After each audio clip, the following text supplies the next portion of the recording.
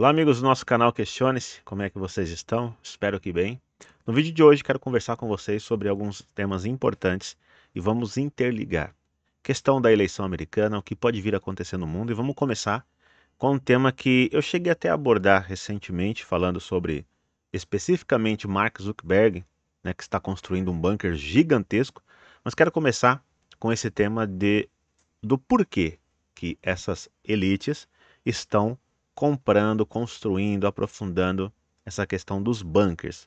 O que é que eles estão esperando? E aí nós vamos lembrar aqui algumas coisas, tá certo? Dê o like, se inscreva no canal e ative as notificações. Gente, o seu like ajuda demais, tá? A gente está enfrentando esse Shadowban faz tempo e o like ele é um divisor de águas. Então, clica aí né, no like para poder ajudar o canal, tá bom? Vamos lá? Só antes eu tenho um recadinho aqui de 40 segundos para você, rapidinho. Nos últimos meses, eu tive a chance de viajar por vários países, aproveitando o máximo do meu tempo, de segunda a segunda. O que pode te surpreender é que o YouTube não é a minha fonte de renda, já que o meu canal não está monetizado devido aos temas que abordo, sempre buscando a verdade para você. No entanto, isso não me incomoda, pois hoje eu entendo como é que a internet funciona e consigo viver muito bem em qualquer lugar do mundo com dinheiro no bolso. Quer saber como é que eu faço isso? Fique até o final do vídeo que eu vou te contar. Bem, gente, a grande elite, né? Olha lá, exclusivo. Líderes globalistas estão se mudando para bunkers antes do colapso mundial. Qual tipo de colapso pode atingir a humanidade é, em um curto espaço de tempo aí? Bom, alguns analistas dizem que, por exemplo, pode ser a questão financeira. Falam de uma grande bolha que existe né, que vai estourar e que nós veremos uma grande crise financeira atingindo o mundo. É, se você for reparar, por exemplo, um desses bilionários dessa elite, aí, o Jeff Bezos, né, da Amazon, ele vendeu boa parte de suas ações. Por quê? Essa é a pergunta. O que é que eles sabem que nós não sabemos, né? Então ele vendeu a um preço aí que é um preço bom e quando o colapso vier, muitos dizem que ele recomprará, né? Porque vai estar tá bem baratinho. Então, se, é, isto seria parte do chamado o reset, né? A grande reinicialização. Então é sempre assim, né? É o que nós falamos há tanto tempo sobre a ordem pelo caos. Para você instituir determinada ordem, mudar estilos de vida e etc., o caos precisa aparecer. Sempre foi assim na história do mundo e dessa vez não será diferente. Se nós voltarmos no tempo recente, Segunda Guerra Mundial, é, antes da Segunda Guerra, o mundo tinha um caminho, uma forma, né? Após a Segunda Guerra Mundial, o que, que aconteceu? Uma nova ordem para o mundo. Estados Unidos despontando, né? E o nascimento dessas organizações hoje que estão no controle do mundo, né? Que na verdade são controladas pelas mesmas pessoas e são caminhos né, utilizados para poder controlar o mundo. Então, né, aí tivemos é, todo, todo esse, esse formato, né, essa formatação da nova ordem, que agora já é antiga, né, para o mundo. O que hoje estão vislumbrando? Que sem, o que foi teorizado como chamado da grande reinicialização? O que precisa acontecer? Colapso, principalmente financeiro. É o que muitos vêm alertando sobre essa questão. Por isso que nações têm se preparado para a moeda digital, né? Essa transição. E quando esse colapso, é, isso falando só da questão financeira vier, né, a queda dos bancos, né, os Estados Unidos aí imprimiu dinheiro adoidado, principalmente no período da pandemia, né? Nossa, foi dinheiro demais, né? Então, quando vier isso, quando o mundo retomar, ele vai fazer a transição. E aí virá o quê? A ordem. A nova ordem é o mundo. E a ordem, né, que virá, vai fazer essa transição para o digital. E com isso, muitas ordens, vamos falar assim, leis serão colocadas no mundo, novas em todas as nações, para este novo período. Inclusive as que vão regulamentar a internet. Por quê?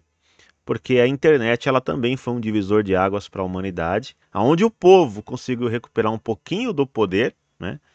E agora ele está sendo tirado totalmente das mãos do povo. Né? Então você tem a sua obrigação, né, como um cidadão, de participar da democracia é só no dia da votação. Depois disso, se você falar do político, se você cobrar, se você cobrar funcionário público de qualquer outro setor que não é nem eleito, você é um antidemocrático. Olha como que a coisa inverteu. Peraí, a democracia só existe por, por minha causa, pelo povo. Eu sou o povo, você é povo. Só existe por, né, por nossa causa. Mas eles distorcem a coisa, como que se você fosse o escravo deles e não eles os seus é, é, funcionários, né?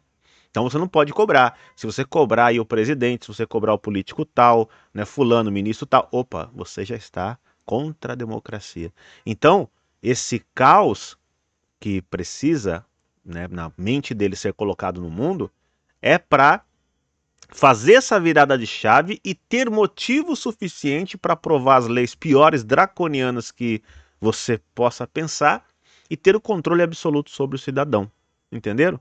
Então é por isso que esses caras têm construído seus bunkers profundos para se proteger das coisas que virão. Isso que eu falei somente do caos na parte financeira.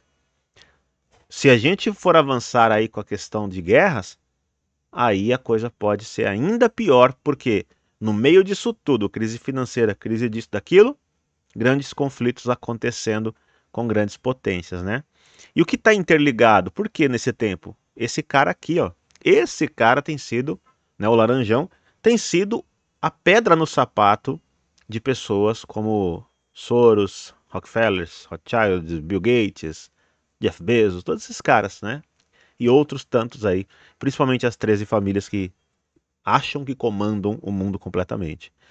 Então, a Nikki Haley, ela foi uma grande decepção republicana, partido do Trump, todo mundo fala, pô, deve ter o mesmo pensamento negativo. Ela é só mais um, assim como o Bush, né? É, é só mais uma marionete. Então ela foi escolhida ali para tentar enfrentar o Trump nas primárias e tal, mas não conseguiu. Está perdendo e perdendo feio todas. E agora, nas primárias da Carolina do Sul, o Trump venceu mais uma. E é isso que está preocupando, né? é, esse, esse submundo do mundo, da política americana, né, o, o chamado Estado Profundo. Estão preocupadíssimos, por quê? Ele está com tudo para vencer. Dessa vez não vai ter cédula de correio que talvez impeça, hein? Vai ser muito difícil. Lógico, ninguém pode cravar nada, tudo pode acontecer. Mas vai ser muito difícil impedirem que ele volte à Casa Branca, tá? Então estão tentando de tudo e é por isso que até falaram sobre a segurança o que da vida dele, que tem que tomar muito cuidado, porque está mexendo com coisa que não é fácil. Então, é, ao passo que isso acontece nos Estados Unidos e começa a se tornar inevitável o retorno de Trump, é aonde o mundo poderá ser mergulhado no caos e aonde se faz necessário o bunker para esses caras, entendeu?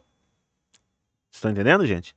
Bom, não somos estúpidos o suficiente para elegê-lo de novo. Eleitores de Biden é, ligam né, o Sleep Joe. Um grupo de eleitores do Michigan expressou sua decepção e arrependimento por ter votado em Joe Biden em 2020 e disse que não cometeria o mesmo erro outra vez.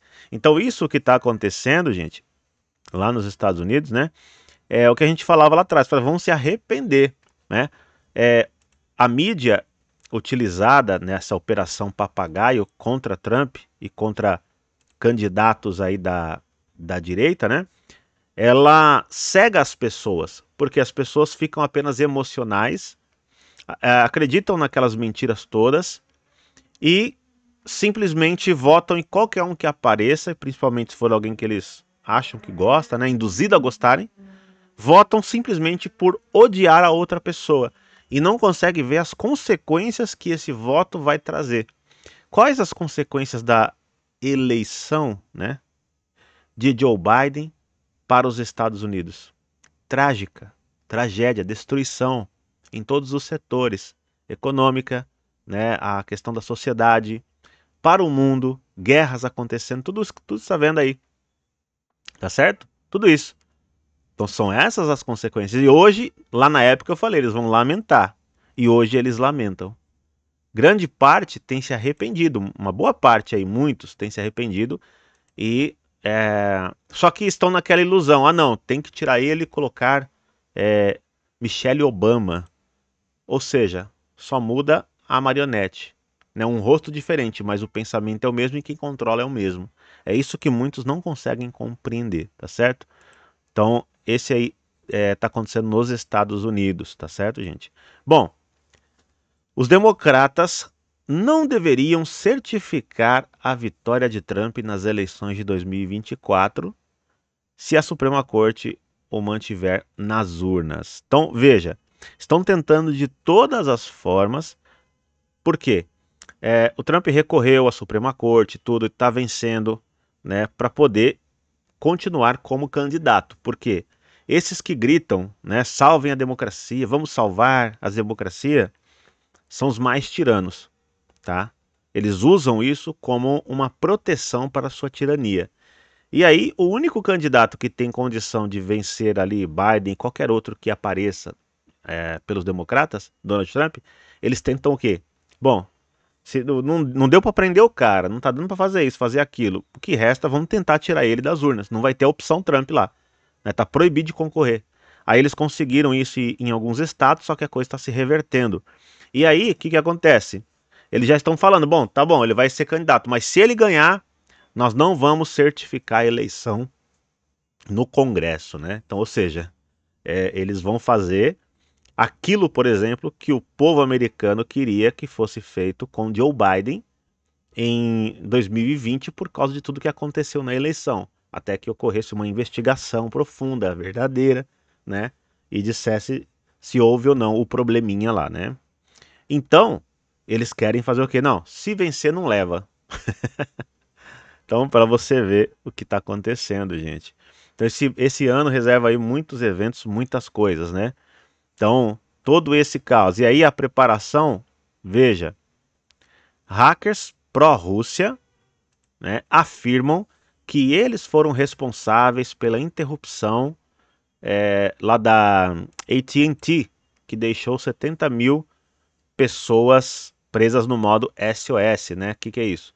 O telefone parou de funcionar, os telefones AT&T. Mas não foi só essa empresa, eu fiz até um vídeo aí, né? Foram várias. Então agora começam a surgir grupos hackers e dizendo que, olha, na verdade, a gente fez isso, foi um ataque hacker, etc. Foram vários grupos, mas aí a mídia pegou e falou: não, são os russos aqui que estão assumindo, mas outros grupos também assumiram, né? E disseram: ó, oh, fomos nós. A verdade ainda é, não foi revelada completamente. O FBI e outros estão né, investigando em caráter de urgência para tentar descobrir se foi o hacker realmente e quem foi, né? Ou de onde partiu, que é o mais fácil aí, né? De onde partiu esse ataque. Então, para você ver. E o que, que foi cantado essa bola aqui de é, ficar sem sinal? O filme que eu falei para vocês, lembra?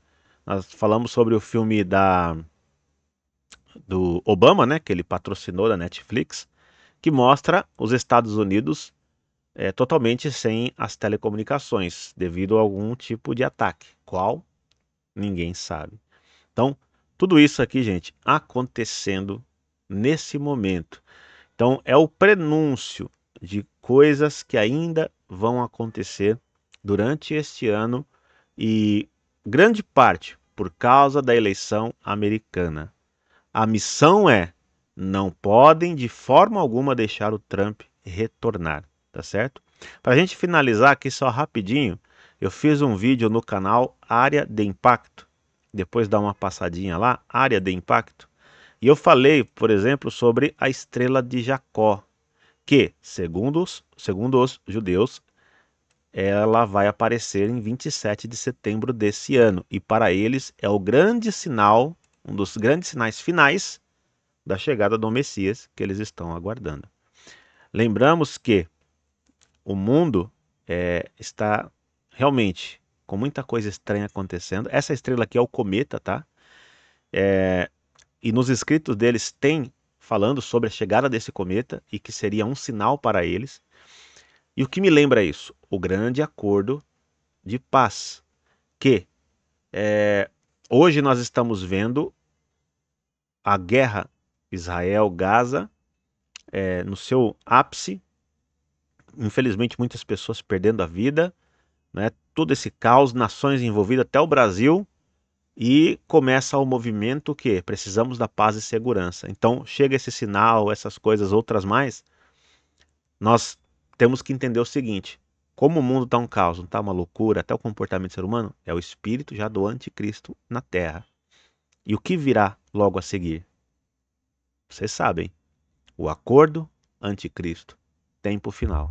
Está lá no canal Área de Impacto, tá certo? Agora veja o recado que eu tenho aqui para você é, como eu prometi no início do vídeo. E para você que ficou até o final do vídeo e deseja descobrir como é que eu faço para ganhar dinheiro enquanto viajo o mundo, realizando o meu sonho sem depender do YouTube, sem dar satisfação para chefe irritante, eu não sou o único não. Muitas pessoas comuns estão lucrando muito com a internet. Dá só uma olhada nesses resultados impressionantes de pessoas ganhando dinheiro usando apenas seus celulares conectados à internet. Há algum tempo, eu nem mesmo imaginava que isso seria possível, mas hoje eu sou grato. Agora, só preciso dedicar cerca de duas horas por dia para ver o dinheiro entrando na minha conta todos os dias. E não, não tem nada a ver com esquema de apostas. É algo totalmente honesto. Assim como eu, uma pessoa comum, e como milhares de brasileiros também comuns, você pode conquistar isso. Tudo que você precisa é determinação e alguém experiente para orientá-lo. Clica no primeiro link na descrição, entre em contato com o Thiago Gomes e ele te guiará mostrando o passo a passo para começar a ganhar dinheiro na internet pelo celular e se quiser viajar o mundo também aí sem preocupações. Bem, recado dado, gente. Aproveite aí a oportunidade, aquela que vem mudando a minha vida e pode mudar a sua também. Então, se você quer resultados diferentes para a sua vida, mudança, tem que fazer algo diferente. E eu estou te apresentando aqui uma oportunidade que fez isso na minha vida, que inclusive hoje estamos viajando o mundo, tá certo? Hoje estou aqui na Índia, tá bom? Então, clica no primeiro link na descrição. Um grande abraço, que Deus abençoe e até o próximo vídeo.